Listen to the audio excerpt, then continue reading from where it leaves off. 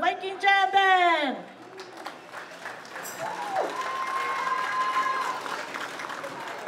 This will be our last performance this year, so thank you. We appreciate you coming and listening. Um, please show your appreciation to the, your classmates. There, we have some freshmen today and some people who have um, filled in today, so we thank them for their um, their contribution here to our music band. Okay, so we're gonna play some Earth, Wind, and Fire, and if you are from the 70s era like I am, feel free to come down and dance your, your way on the grass. Okay, here we go.